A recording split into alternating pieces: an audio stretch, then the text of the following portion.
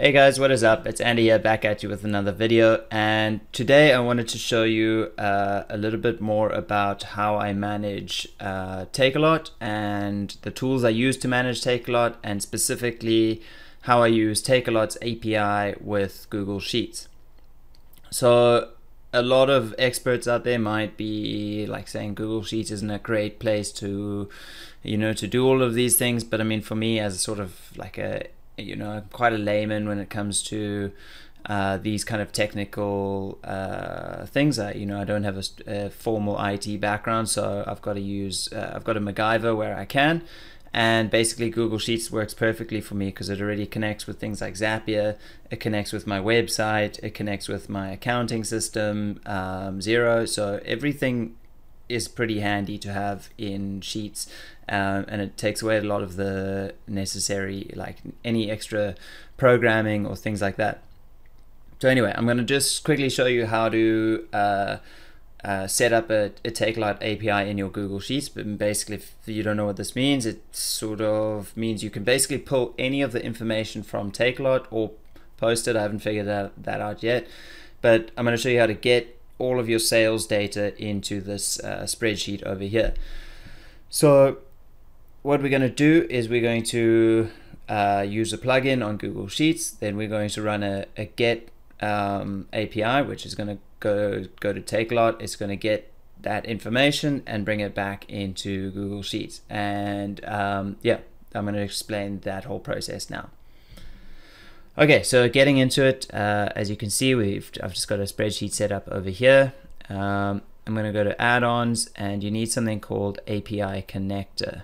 Uh, I'm going to have a link below if you want to install it and uh, it's a pretty cool plugin. It's free to use, and if you want to do the automations, I think it's something like 19 or 20 dollars, 29 dollars a month, um, which means that you can then have this thing run. Uh, it runs all the time. So anyway, you can open it up, uh, install it, open it up, and over here you have requests, and then you can say add new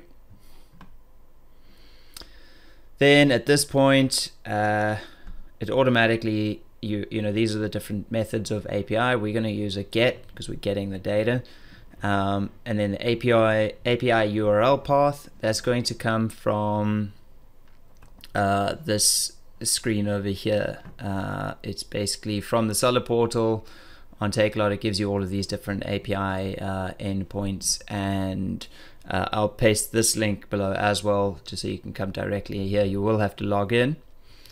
Um, but here you can see view sales, uh, get, and these are the different, uh, this just helps you set up that URL. Uh, version, uh, it's version 1. Uh, that's I got stuck on that when I was figuring all of this out. Filters, I'll show you a filter um, in a sec after I've just gone through the basic setup. Page number uh, you can leave that and page size you can leave that. It's going to basically bring back uh, 1 and 100 by default. So when I click execute it gives let's just get rid of that. Execute. There it's got your request URL so I'll copy that.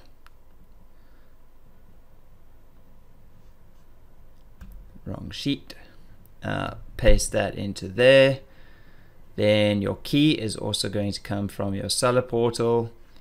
And you copy this.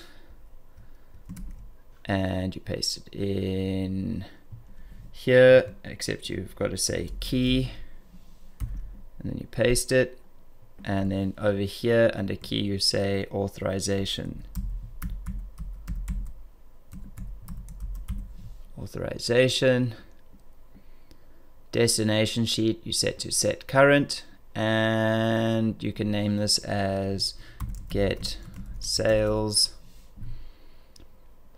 uh, API and then output options.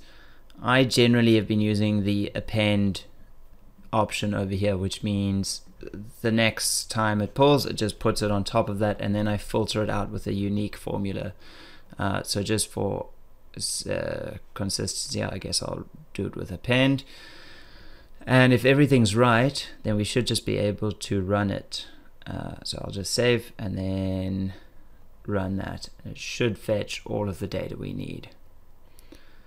There you have it. So everything just comes in. Uh, it's only going to bring in 100 lines and one row. I've just got everything obviously blurred out for um, for sanctity of the data or whatever because um, it is it is live data that I'm using and then yeah basically that's going to have all your things in and then you can also set your API connector to schedule uh, and then you could add a new schedule select the API and then you get that to run every three hours and then you call it API run every three hours and then every three hours it's going to get the next the the hundred most recent orders. I've not found a way to get it to bring all of the orders. Um, I don't know if that would be possible because some people are doing like thousands of orders a day.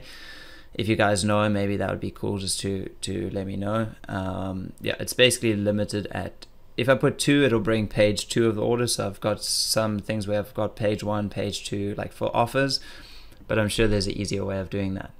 But anyway, from here, you can do anything that you could do in Google Sheets is um, reports, charts. Uh, there's other plugins with mail merges. Um, you can export and import to your accounting systems, download a CSV.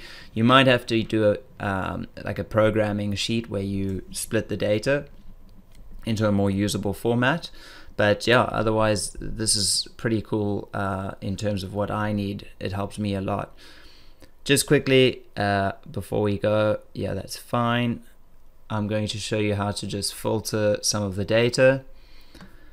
Uh, so what we could do is go back to seller portal. These are all the different um, filters that you can use. It's also all here on terms and definitions under this uh, API thing. And for instance, we want to do sales status and then returned because that's a big part of Takealot, I guess, is the returns. Um, here, let's go to filters, add a filter, and this the format is this. So sale underscore status and then that's going to be returned. Okay, so this should then work.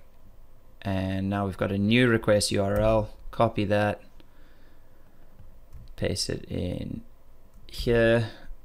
Uh, I'm going to go to overwrite just so that it gets rid of this other data. And let's see if it runs. There we go.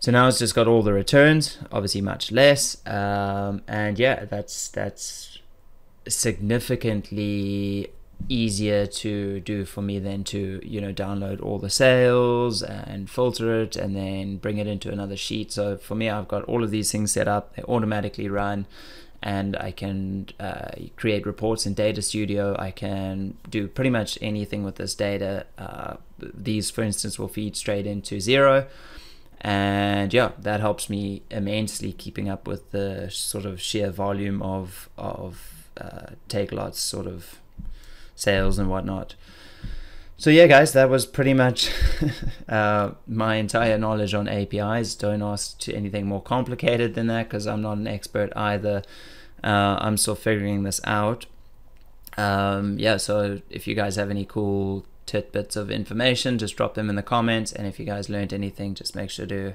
like and subscribe. Uh, it goes a long way. And yeah, uh, suggestions on other videos you want, uh, you can also just put in the comments below. Till next week, guys. Peace.